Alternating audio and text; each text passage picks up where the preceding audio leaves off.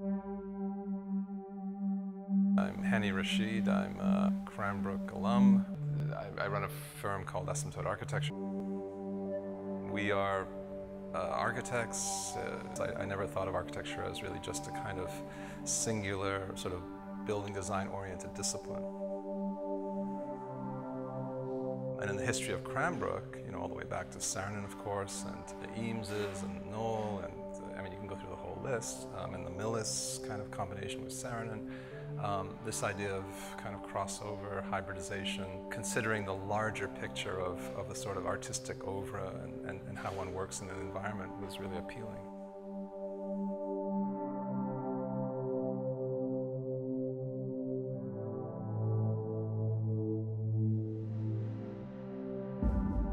One of the reasons I, I, I was drawn to Cranbrook uh, when, I, when I went, uh, there weren't many places, and there still aren't many places, especially in the United States, that um, sort of relish and, and, and uh, celebrate collaboration in the fine arts.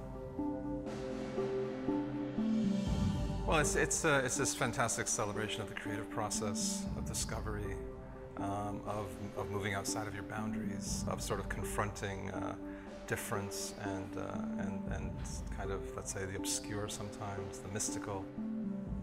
So it had this kind of double this beautiful double side to it, you know, the, the ability to be sort of hermetic, monastic, insular, and, and meditative, but at the same time um, confront the, the, the issues of, of reality, of interdisciplinary thinking.